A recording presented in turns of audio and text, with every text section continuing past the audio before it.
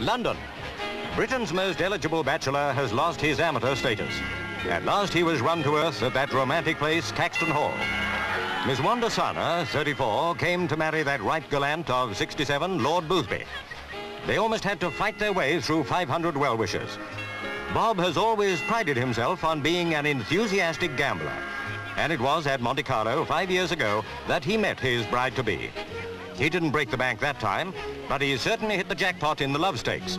Here at Caxton Hall, popular Bob Boothby was at the top of his form. Of course. That's where I always look.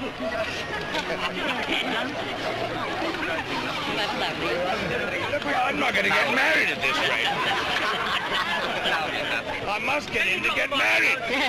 It didn't take long to tie the love knot, so the waiting hundreds were rewarded when the newlyweds came out again, man and wife.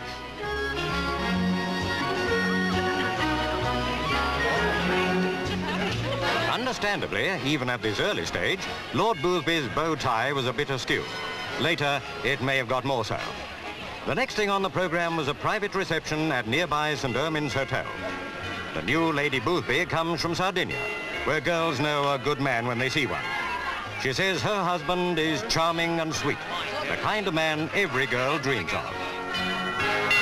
Bob Boothby is one of those rare men to whom everybody's heart warms. Next day, off to a honeymoon in the Highlands.